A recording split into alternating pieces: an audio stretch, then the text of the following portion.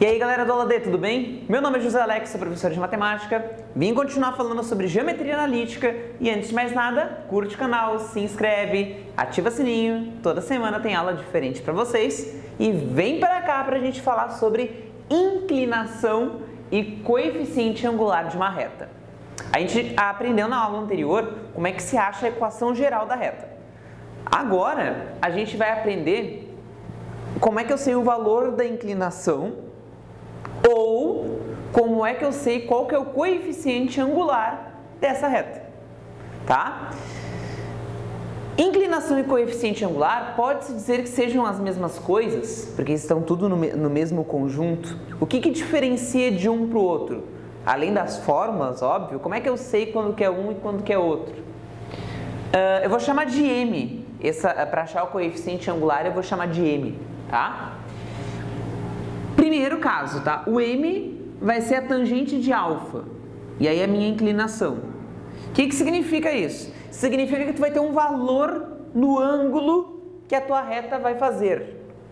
Esse valor do ângulo que a tua reta faz seria o coeficiente angular da reta. Por quê? Porque tu tem o ângulo. Entendeu? Então tu vai utilizar essa fórmula porque tu tem o ângulo que está ali. E quando tu não tiver o ângulo?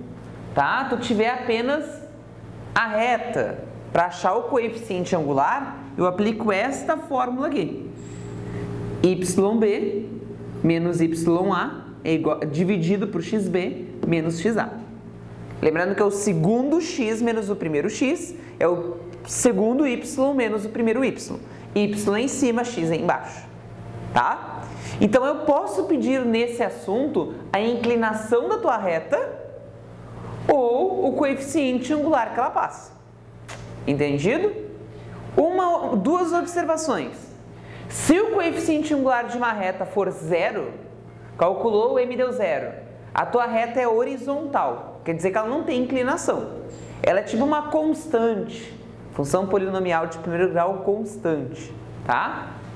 Agora, quando não está definido, não tem um número, ela não está definida, então ela é uma reta vertical, uma tangente. Tá? Ela tangencia o teu gráfico, certo? Quando for um número qualquer, inteiro, inteiro uh, positivo ou negativo, aí sim ela vai ser nesse formato aqui, desse lado, daquele lado, em cima, embaixo, enfim. Certo? Um exemplo para vocês verem que é bem simples. A reta R possui 60 graus de inclinação. Qual o coeficiente angular? Bom, eu, estou dando o valor do ângulo, então eu já sei que para o valor do ângulo eu preciso pegar aqui o valor do m. m é igual a tangente de alfa, no caso é a tangente de 60 graus. Como é que eu calculo a tangente de 60 graus? Geralmente a gente faz o cálculo através daquela tabelinha do ângulos notáveis, que a gente trabalhou em trigonometria, tá? uma olhadinha naquelas aulas passadas para vocês verem, né?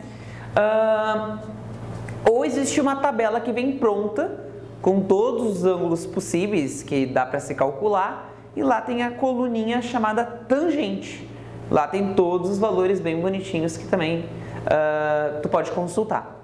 Geralmente, vestibular, Enem, concurso, eles cobram o quê? Apenas os ângulos notáveis, que são os três principais, tá? 30, 45 e 60. Esses três que eles cobram. Para quem não lembra, tem até uma musiquinha que eu cantei no passado aqui, né? Se vocês forem ver o videozinho, né? Tem até uma musiquinha que eu cantei, 3, 2, 1, 1, 2, 3, 3, 2, 1, tudo sobre 2. A raiz vai no 2 e também no 3. A tangente é diferente, veja só você. Raiz de 3 sobre 3, 1 raiz de 3. E aí o que, que eu tenho que fazer? É tangente de 60 graus, tá?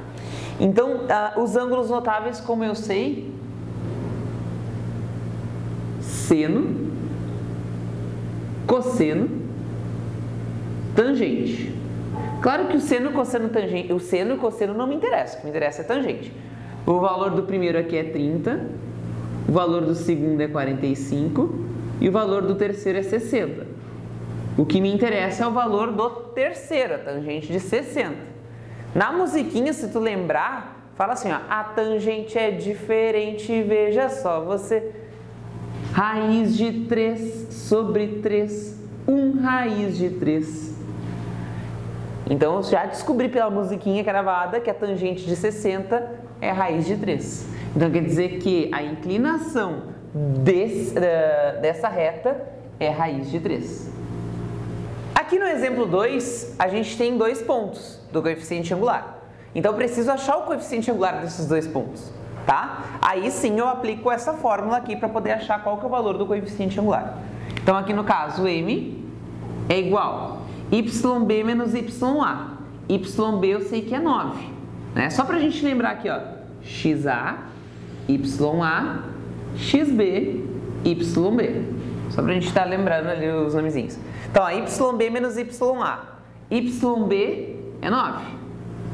Menos o YA, que é 3. Dividido no X, ó. XB menos XA. XB, 4. Menos o XA, 2.